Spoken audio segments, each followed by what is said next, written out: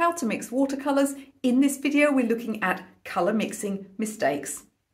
Welcome back to my channel. If you're new here, my name is Michele. On this channel, you'll find all things watercolour, colour mixing videos like this one, drawing tutorials, even a little bit of mixed media, business and motivation for artists too. Please do consider subscribing. And don't forget to click that bell icon. That way YouTube always notifies you every time I have a new video. Now, before I was on YouTube, as many of you know, I was teaching real life painting and drawing classes here in the south of England. And I saw people making the same colour mixing mistakes when it comes to watercolours again and again. So I'm going to walk you through the most common ones. Now don't worry if you feel like you're someone that really doesn't understand colour mixing. You'll be able to easily understand and fix all of these mistakes. So let's get started with mistake number one. So when you buy new paints or new pencils, you've got all those lovely colours in front of you. Do you immediately start using them or do you swatch the colours? My first mistake is not swatching the colours of your new materials or your older materials and why it's going to negatively affect your work if you don't swatch your colours. So here's the thing, the colours on the outside of your tube or on the outside of your watercolour pencil or whatever you're looking at, the manufacturers do their absolute best, but the colours on the outside just don't bear much resemblance to what's on the inside. When you get a colour like a crimson, which often waters down to a pink, what you're seeing on the outside bears so little resemblance to what effect you're going to get when you put it on the paper. So let's swatch this one. This is Permanent Madder Lake by Talens Rembrandt. It's a colour that I find somewhat preferable to alizarin crimson. And let's look at it. So if we swatch it, we can see there we've got this nice sort of delicate rose colour. So judging it by the outside of the tube would be really, really deceptive. Now, although you can make a single swatch like this, and I absolutely encourage you to do that with all of your paints to make a swatch of each colour. If you do nothing else, just make one single swatch of each colour and add kind of a medium amount of water. But what's better than that actually is to make a few swatches for each colour. So let me show you what I mean. So what we would do for this one is we would make a swatch with almost no water and then we would gradually add more water, just adjusting the swatch so that it goes a little bit lighter. Using somewhere between four and six gradations of colour, I would swatch this colour out until it goes from very dark to very light. In this way, you're going to know exactly what's in the tube without relying on this outside colour. Let me give you another example. I'm not going to swatch these. I just want you to look at the outsides. Now, ignore the fact that one is almost used up and one is full. That's, that's nothing to do with anything. Right, so look at the outside colours here. Can you see how different they are? These colours are both Prussian blue. They're both Talens Rembrandt and they are both the exact same recipe. All that's changed is the printing on the tubes. Now the one on the right is to my mind more indicative of a Prussian blue. This one looks more like cobalt. I've got a tube of their cobalt that looks more like cerulean and I'm not having a go at Talens, they're one of my favourite brands. But the printing process is difficult and as I said, with this strong dark staining colour, you're not going to know what it looks like watered down unless you swatch. So my next mistake is all about choosing the wrong colour first. So I'm not talking about physically mixing from the wrong colours. I'm choosing about which one of those colours you squeeze into your palette first or load your brush with first. It makes a big difference. Have you ever ended up with a huge puddle of paint? It's gone way too far in the wrong direction. You feel like you know which colour you need to keep adding in order to bring it back or maybe you need to keep adding water in order to bring it back. But no matter how much of that colour or how much of the water you add, you just can't seem to bring it back to where you want it. And before you know it, you've wasted half a tube of paint. It's really important to know which colour to add first. So here I've got some cadmium yellow light and I've got some pyrrole red. So let me swatch some of the yellow onto the paper. So this is just the yellow. We'll imagine I want to make an orange. And let's grab just the very tiny, tiniest amount of the red. And here I can make an orange. Now we had a lot of yellow in that mix and hardly any red. But here's what tends to happen. People want to mix an orange and they see that the red is probably quite close to orange, at least visually. So they grab loads of the red like this. And then they think, well, I'll put some yellow in. And it really doesn't go very orange at all. In fact, when we swatch it, it still pretty much looks like red. So what they do is they then start putting more yellow in and more yellow in and more yellow in. And really hardly adjusting this mix at all. So if you get a mix that's gone really dark, really the wrong way, I want you to start again. Don't just keep throwing good paint after bad because you're just wasting paint. Now in this instance, it would have been far better to start with the yellow. But how do you know which one to add first? Well, there's a couple of guidelines. The first one is the lightness of the colour. So when it comes to the primaries, if you're making a colour that contains yellow, for instance, you're making green from yellow and blue, you almost always want to add the yellow first, the same with orange, yellow first. The blues can be strong or they can be weaker. Reds and purples tend to be very strong. So if you're making a purple, for example, I would start with the blue because you only need the tiniest bit of red or pink to push that blue into purple. Now, I mentioned that if you're making green from yellow and blue, you should start with the yellow. There's one exception to that, and that would be a blue that's very, very turquoise. Because a turquoise blue is almost all blue, you only need a tiny touch of yellow in it. So you want to consider the colour that you're aiming to reach. What does it look like the majority of the pigment is? And which of those colours do you think is the strongest. So generally speaking, you want to aim for the colour that's lightest, that's weakest, and the one that appears to make up the majority of the colour. Of course, that's not easy, but the more you mix colours, the better you'll get at selecting the right ones. And if you learn nothing else from this video, at least understand that if you get a colour mix that's really, really dark and really, really strong and is completely wrong, it's far better and far more economical to start again in another well than it is just to keep throwing more and more paint in if it's not adjusting the colour at all. My next mistake with colour mixing is actually an application problem. So if you've mixed from a granulating colour or two, so granulating colours are those ones with the slightly heavier pigments that leave little speckles on your paper. They're very, very beautiful. But if you mixed a colour from them, what's going to happen is they're going to actually separate in your palette. And if you don't stir every time you dip back in, you're not going to get a consistent colour when you apply. Let me show you an example. You'll be absolutely astonished the difference this one makes.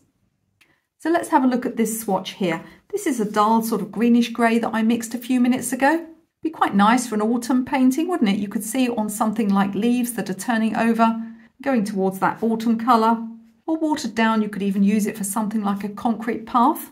It's applied fairly evenly, but it has some granulation, and that's because one of the main colours I used to mix it from was cerulean blue. So let me show you the little pot of paint. I mixed a big puddle of it up. I'm going to bring it across very gently without shaking it.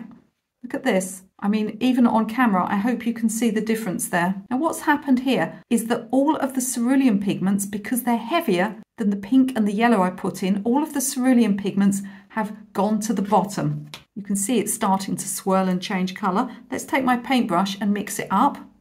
And look what happens.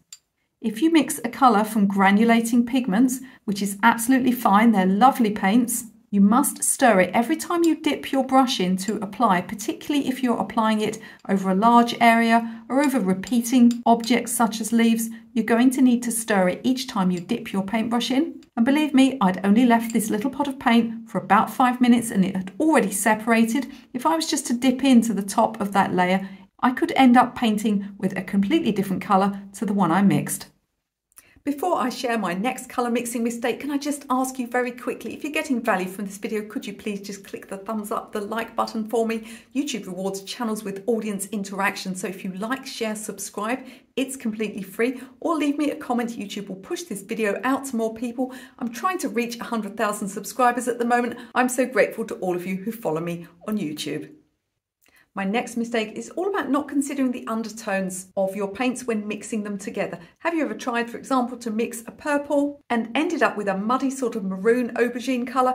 It's because you're choosing the wrong red and you're choosing the wrong blue. Now, how do you know which ones are right? You need to consider the undertone. You might even have seen certain manufacturers put on certain colours red shade, green shade, and that's there to help you find the undertone of the colours. But all colours have a direction in which they lean from the warm to the cool end of the spectrum. And understanding this will help you to choose the right colours to get the result that you're looking for. Let me explain how it works. So let's look at this idea of undertones. You can think of them as a colour undercurrent before anybody goes into the comments and picks me up on my use of the word tone or shade. I'm using these words as they are generally used in everyday language and used by the manufacturers too not in the strict dictionary definition, where of course things like shade mean the amount of light and dark. So let's think of this idea of mixing a purple. So want to mix a purple, so we know that we need red and we need blue. Now some of these reds and blues will have an undercurrent that goes to the blue end of the spectrum. So the red might be a crimson or a pink leaning colour and the blue might lean towards purple. Sometimes on a tube of blue it may say something like red shade and these would be ideal colours to mix our purple from. Ultramarine is the most purple leaning of the blues. It makes sense to use an ultramarine perhaps to mix a purple. And to use a red that leans towards a crimson or a pink is going to give us a fantastic true sort of royal purple. But not all reds and blues lean towards that blue end of the spectrum. Some of them lean towards the yellow end of the spectrum. So let's look at those. So if we look at the red here, it might lean towards orange or scarlet. And the blue might lean towards turquoise because these colours lean towards the yellow end of the spectrum. Now, if we mix all three primaries together, we'll get a colour that's dull and muted. We'll get a neutral. So if we mix red and blue, we'll get purple. But if there's also a little touch of yellow in there, we're adding that third primary and we're neutralizing and dulling our purple. So let me show you that in reality. I've got some cobalt turquoise here. You can see as a blue, it leans towards that green end of the spectrum, that teal, that turquoise end of the spectrum. So let's put some on the paper. And here I've got a colour that I made for my floral set. It's called Poppy Red. It's a great colour, but it, you can see I mean, look at it next to my nails. It's almost orange. It leans towards that orange end of the spectrum. So we know that this has got a touch of yellow in. So let's try mixing the purple from this. I'm just mixing on the paper to save time. Well, good grief, look at that. I mean, it needs more red in. We'll add more red. But look at the mud I'm getting. It's barely purple at all. It's almost brown, and that's because there's so much yellow in these two colours. So it's really important when you want to get to a third colour that you consider the undertones of the first two colours. Swatching and studying your colours and also using that red shade, green shade labelling on certain paints is going to help you get there. Have you ever thought what a game changer it would be if you absolutely knew what every colour in your palette looked like when it was mixed with every other colour in your palette? Well, you can. It's called making colour charts. This is so, so important. It's going to make such a difference to your colour choices and take the mystery out of painting. And if you are not an instinctive colour mixer, if you feel like you'll never understand colour mixing, it's even more important to make charts. Now here's a colour chart or a book of colour charts that I made many, many years ago when I first started painting. Now, if you were despairing over my idea of undertones and undercurrents and hues and trying to figure out which blue and which red would make the best purple, well, here's your answer. Just swatch all your colours. So these were arranged almost like map references. You know, with a map reference, you have coordinates down the side, the coordinates across the top, and then you meet them up in the middle. So what I've done here is I've put blues along the top, and this does actually go onto another page here. I've put blues along the top and I've put pinks and reds down the side. You can do the same for all of your secondary colours. You could do yellows and blues for green. You could do reds and yellows for oranges. You could even do tertiary colours, all manner of mixes and blends. You could swatch if you wanted to get a huge piece of paper, you could swatch every colour you had and line it up with every other colour. So let's have a look here. We were looking at that example of the purple that wasn't very good. So you can see here, I've got Talens Permanent Red Light, that's a very scarlet red, and I've mixed it with Cerulean Blue, which is a very turquoise blue, and you can see what we've ended up with here. Now there's no such thing as a bad colour, you might need this exact colour. Be quite nice for cloud shadows, wouldn't it, on a stormy landscape? But if you wanted a real true purple, you'd be looking for something a bit brighter. Now look what I've got here. I've got Daniel Smith Opera Rose, which is a very, very bright blue-based pink, and I've got ultramarine blue. Look at the difference it makes. Here we've got a much brighter, truer, strong lilac purple. So if you can't remember your undertones, then this is your solution. My next mistake is not adjusting ready-made greens before you apply them to your painting. Now when I started painting I didn't use any ready-made greens, I mixed all my own from blues and yellows. I do now have lots of ready-made greens but some of them are just very bright and unnatural. If you've got one of these greens and it doesn't suit your local landscape or the things that you like to paint, I'm going to give you a couple of quick, easy hacks for adjusting them to make them much more usable. So what I've got here is um, I've got some very unnatural looking, they call it emerald green. This is a White Nights colour. It's actually a phthalo green and it's very, very bright and unnatural. Now, whenever I say that, somebody comes into the comments and says, well, I live on the island of so-and-so, this tropical island, and this is the exact colour of the vegetation. I'm sure it is, but for most of us, this is not a very natural colour for our local environment. And this can go for other colours, not just greens, but greens are most common. And if you have this colour in your paint box, although it's a hugely versatile mixing colour, it can just be a bit too bright. And if you're a beginner, you may not know what to do with it. So I've got two easy hacks for you. The first one is to add a warm yellow. Now I've got some azo yellow here. This is a bright, clear, warm yellow. So this will give us a bright colour, but it's going to knock out the amount of blue in this green and make it look a lot more natural. If you want it to look more natural, but also you want it duller, then you can just choose a duller warm colour, something like a cadmium yellow deep or even a yellow ochre. If you just want to make your green a little duller, but without warming it up particularly, then pink is your answer. Red and green are opposite colours, and pink in particular, if you use a scarlet red, it's going to go slightly brown, but pink in particular is fantastic for neutralising your green and making it a bit less space alien and a bit easier to stomach. But if you do, of course, live on that fabulous tropical island, go ahead and use the green neat if it's the exact right green you need.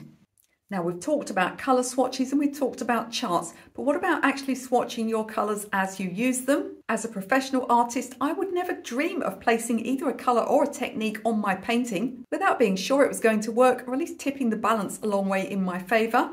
Let me show you how just taking the time to do this can save you a lot of heartache.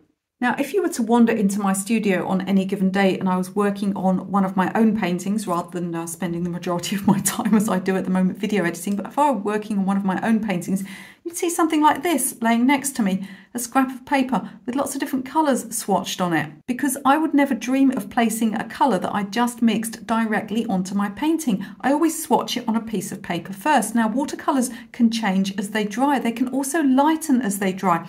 So by swatching on a piece of paper like this, and then just allowing it to dry for five minutes or so, you can place it next to where you're painting and see if you like the colour. See if it's dark enough, does it need to be warmer or cooler? Another thing you've then got is a roadmap for any glazing you want to do. So say I've got this yellow colour in my painting already, I tested it before I put it on, so I've got a little bit here too. And I've placed it in my painting and I'm fairly happy with it. But I decide now I'd like to put a layer of pink over it. I'm not really sure how that will look though. So rather than go straight onto my painting, I've got an example here. On my little swatch, I can try out that glaze first of all and see what happens. Always swatch your colours, particularly if you're a beginner, before placing them on your painting. And don't forget to let them dry for a few minutes too so that any changes that are going to happen take place and you can be more confident in your colour mixing because you've already tried them out without the danger of ruining your painting. This next mistake is all about not using a limited palette. People can get very confused by limited palettes. I've got other videos on how to choose your colours. There are no hard and fast rules. But what you absolutely don't want to be doing is dipping into 20 different colours and those of you who use pan paints are far more susceptible to this than those of us who use tubes. But it's not the tubes or the pans that are the problem. The issue is just using too many random colours in one painting and ending up with a painting that's got no overall atmosphere and that doesn't hang together in a cohesive colour palette. Let me show you a painting I'm right in the middle of at the moment and explain how working in a limited palette has helped me and how it's going to make all of your paintings look much more beautiful. And no, I'm not going to ban you from owning 100 colours if you want them. It's not about that, it's about how many you use in each painting. So what are you looking at here? You're looking at one of my own paintings that's halfway through. So this is what I'm painting. It's called Whitby Abbey. It's in North Yorkshire in the UK. It's a sunset, obviously. And the photograph was taken by my daughter when we were on holiday just a month or two ago. I'm painting a full painting for my patrons, but I want to talk to you in this video about the colour palette that I've chosen. Now I'm actually using a ready-made lilac. It's a lavender colour by Jackman's Art Materials. I'm using that lilac in the sky and I've chosen some ready-made greens as well. I've got a warm yellow, I've got a pink and later on I've got one or two darks that I'll be using for the Abbey itself. Now, although the colour in the sky may look quite blue on the camera, I can't really tell, it's looking rather blue to me, but there's no actual blue pigment. I haven't chosen a blue for this painting. That's quite a risky thing to do because sometimes you need a blue just for mixing. What I'm trying to get with this sunset is I'm trying to get this overall effect. Every sunset is bathed in a particular type of light that's going to affect everything. I'm not going to just shove a black on this building here. I'm going to use the colours that I'm using everywhere else in the landscape. Now, a sunset is an extreme version of using a limited palette, but frankly, a limited palette is great for any painting. I could have chosen different colours. It's not about choosing the right colours. I could have chosen any selection of different colours for this painting and I would have given the whole painting a completely different atmosphere. Having a limited selection of colours will really help your painting to hang together. If you don't know how to start, I suggest you start by choosing three primaries or just three or four colours that you like and work out from there. Now, a limited palette is meant to be a helpful tool, not some kind of stick to beat yourself with. So, as I was saying, I haven't chosen any blue for this picture. The blue at the front here is actually masking fluid. But if I get to the point where I really, really need a blue, I'll just add one in. You don't have to stick to these colours as you go through. You can add extra colours, but what you want to do is as you work through the painting, every time you come to a new area of the painting, ask yourself, can I mix that colour from the selection of colours that I chose at the beginning? And if you can, that's fantastic because the less colours that you use within the painting, the better. There's no right amount. If you're painting a garden on a summer's day and it's got 20 different colours of flowers in, you're going to need a far bigger selection of colours. But what you don't want to be doing is just randomly dipping in and out and putting every colour in the world on your painting because you're missing out on a huge amount of atmosphere and mood that a limited palette will give you. If you are interested in full tutorials of this painting, as I said, it is available on Patreon. I may put it out as a mini course in a few months time and the foreground grasses actually I'm going to be doing as a YouTube tutorial for you and that one will be coming up very soon. So do let me know in the comments if you were making any of these mistakes. And before you leave this video, don't forget to check out the video description. I've got lots of free stuff in there for you, including some free downloadable PDFs. There's even a free mini course that you can take for no money whatsoever. Now, earlier in this video, we were talking about manufacturers labeling tubes red shade, green shade. If you're still a little bit hazy about what that means, I've got a video that's going to explain it very simply, very quickly. And I promise at the end, you'll understand exactly what's meant by those terms. You can watch that video right now.